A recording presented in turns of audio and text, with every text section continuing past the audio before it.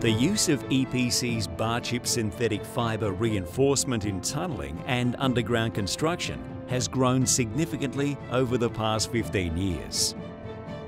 EPC's BarChip synthetic fibres have been specified to replace steel fibre and mesh in hundreds of kilometres of tunnelling works.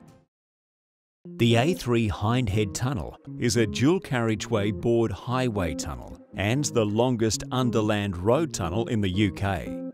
Designer Mott MacDonald designed the tunnels with a permanent sprayed concrete lining and incorporated the primary lining into the final design. The initial shotcrete mix called for steel fibres. However, the cost advantages and the performance of EPC's BarChip fibre led to the specification being changed from steel fibre to EPC's BarChip synthetic fibre reinforcement. The Helsinki Metro West, due for completion in late 2014, consists of 14 kilometres of twin-tube rail tunnels, with cross passages every 150 metres. Excavation was carried out using drill and blast with initial primary lining and a BarChip reinforced secondary shotcrete linings. Costing around 950 million US dollars, the West Metro is the largest infrastructure project in Finland.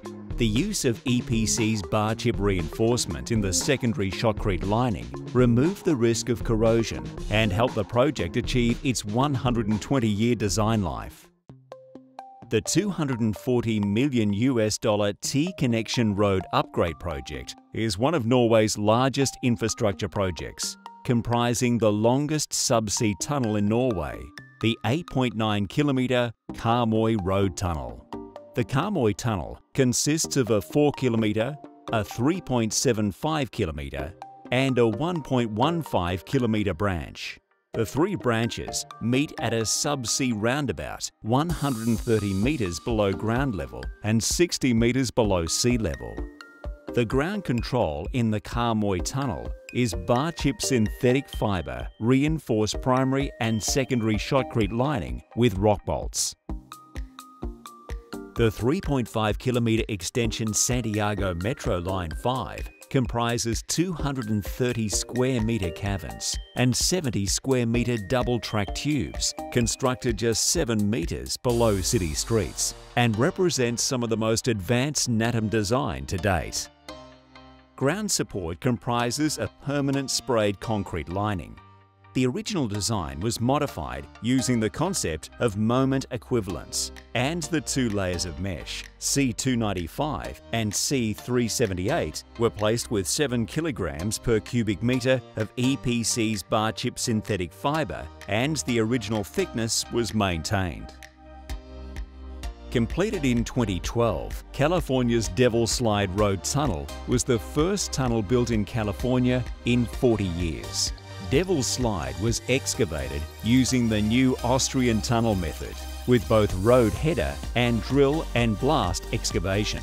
EPC's BarChip synthetic fibres were used in the primary shotcrete lining after meeting the 320 joules at 7 days RDP specification with the lowest dose rate and lowest cost per joule. Major projects, all constructed with BarChip synthetic fibre reinforced primary and secondary shotcrete linings.